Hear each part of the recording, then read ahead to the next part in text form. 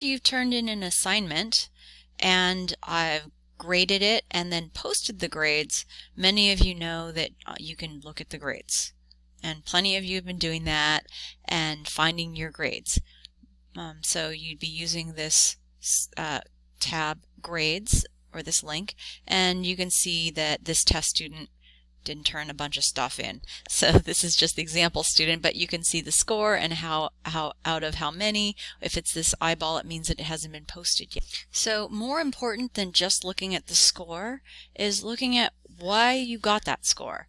So this would be clicking on any, any individual assignment. So you can see for this test student, what did I turn in here? Um, let's look down here. Okay, so this test student took this Quizlet and got one out of five. And there's a comment. So I'm asking you guys to look at everything before you react to your score. So I wrote a comment here which says, please see the feedback for individual questions you've missed. You'll find links to videos you can watch to review the concepts. And so what that means is, I'm closing that up, is go and click on the the quiz. So I did this individual comments for every question on lecture quiz number one. And so you have to click on the Quizlet or the quiz. This is the Quizlet in this example.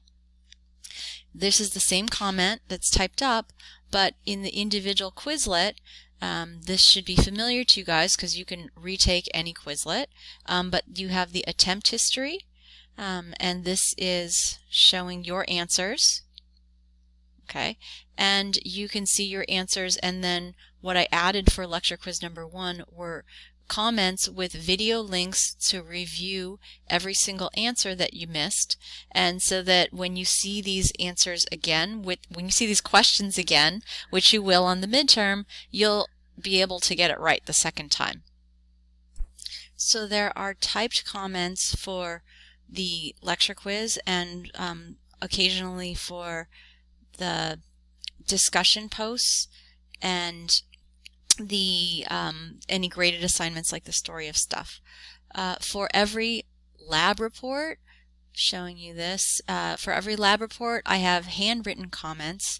Um, so this is clicking on measurements of an example student, is that you when you click on the assignment that you turned in, this is for lab reports. I grade those uh, with my pen and you can see the grades. Uh, if you click on this measurements report, that'll show you what you turned in.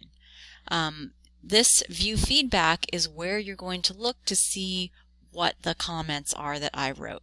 So you can also see that I typed something, please review conversions with a link. And then here, you can see what I've written here, um, which you guys can then understand why you have the score you you've gotten. So for instance, I put what you need to know, um, some correct answers and some corrections, and sometimes some recommendations.